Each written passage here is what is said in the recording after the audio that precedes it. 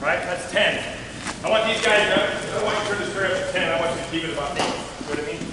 Let's go 2 2. 2 2. Back up. Give them a little room, guys.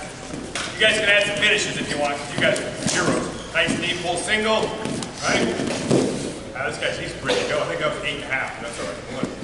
Get that stereo turned away. He's on floor wrestling. I'd be nervous. Yeah. All right. Here we go. Here we go. How many times you get a drill on floor wrestling? Nice. All right, let's give him a hand. Yeah. So that's what I want you to get. I want you to get that, right? I don't know who else is teaching, but I'm going to be the best you're going to see the next few days, okay? That's just the way I think. I'm going to be the best. So I just told you exactly what you got to learn, okay? Those guys never coached 69 high school state champs, so don't let them snow you, okay? Don't let them snow you. No, you got some good clinicians coming in. But that's what you got to have. That's what you got to have to be good at the high school level. That's what you got to have to be good at the college level. And that's Jordan Burroughs. That's what you got to have at, the international level. Dude's always in one stance watching wrestling. He's like a stick of dynamite the whole time, right? So doing this drill is really important. Doing this drill right here, a double all right, or a single. Right? Wrestling by yourself, always ready to go. Taking that first big step. Really, really important. Greatest guys are really weird. So you go on wrestling by yourself in your wrestling room, there ain't nothing wrong with that. Your whole school and your girlfriend and everybody else might think you're weird, but who cares? Okay? Get in the stance and wrestle. Stay in the stance and go five minutes of shooting. You won't need to do anything else that day. That's what's going to make you famous. Let's get the guy's legs. All right, the second thing you got to know, from the bottom. And we won't drill it per se too much. I'll give you some pointers, but you got to have, you got to be able to get away from anybody in under 20 seconds. I know that sounds easier said than done. If I get taken down, that's okay. But I got to get position and I got to get back out. Right? If I start bottom, second period, third period, I got to be able to get away. One of the hardest positions to get really good at. Some guys just kind of are better at it naturally than other guys.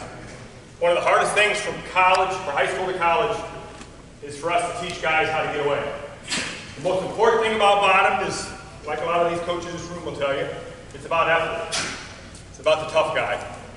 It's not so much about technique. I can show you some technique and show you a couple pointers, but it's more than anything an attitude when you get down.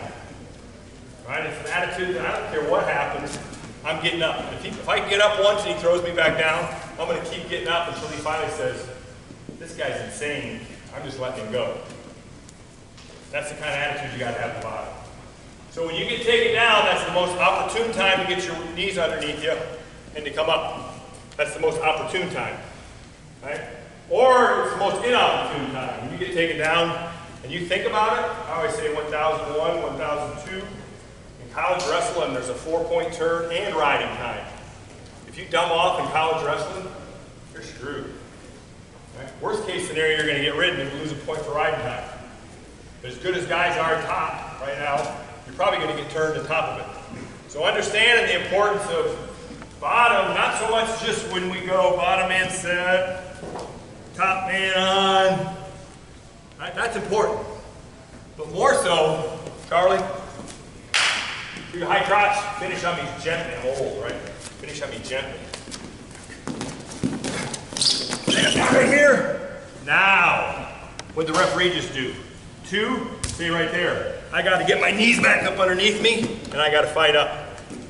I call that transition. I call that bottom transition. So being good in the bottom is when the referee goes bottom man set, top man down. But even more importantly, everybody gets taken down. Because when you get taken down, you being that guy that continually gets up. One of my assistant coaches, Coach St. John, if you watch him wrestle at Iowa, and if you just watch him train in our room, tall, skinny guy, wrestles so hard. Right? He wrestles my 97s, my heavyweights. They take him down right away. He breaks them, gets them tired, because he tries so hard to bottom. They just don't want to ride him. Right? You got to be a guy that don't want to ride.